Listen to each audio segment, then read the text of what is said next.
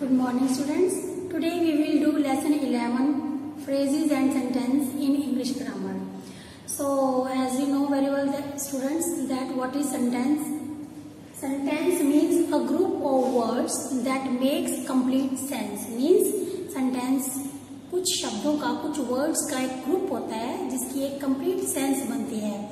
और what is phrases phrases is also group of words that makes make sense but does not give a complete meaning means phrases भी एक शब्दों का group होता है जिसकी एक कंप्लीट सेंस होती है, लेकिन इसका फुल मीनिंग नहीं कंप्लीट मीनिंग नहीं निकलता।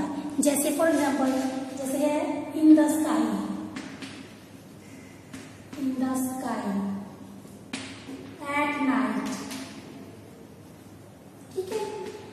ये फ्रेजेस होगी ये पूरा सेंटेंस नहीं कह सकते हम इसको ये फ्रेजेज है।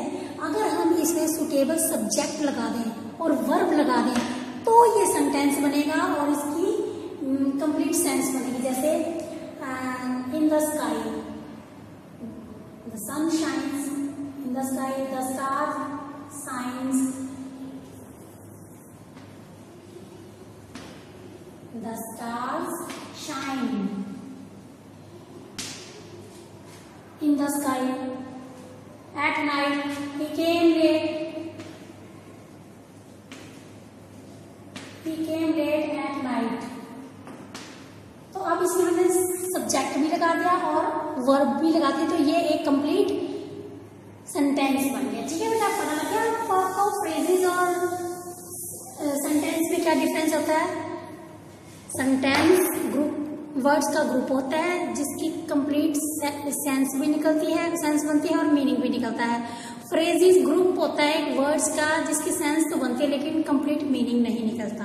ठीक है बेटा, अब हम इसकी एक्सरसाइज करें जैसे आपने इसमें जो फ्रेजेस है उसको अंडरलाइन करना है जैसे children left for school in the morning बच्चे मॉर्निंग में स्कूल के लिए निकले तो जो इसका फ्रेजेस बनता है आपको नहीं बनेगा तो आपने आंसर में लिख देना है morning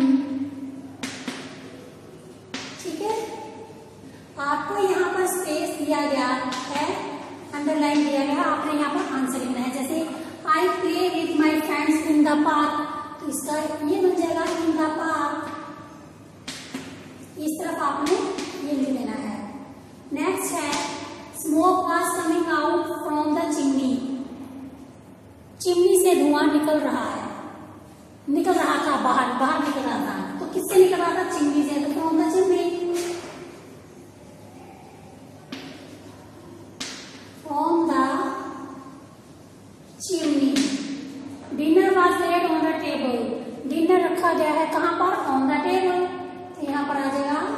on the table next है there is a switch board in the corner of the room room के कॉर्नर में switchboard है कि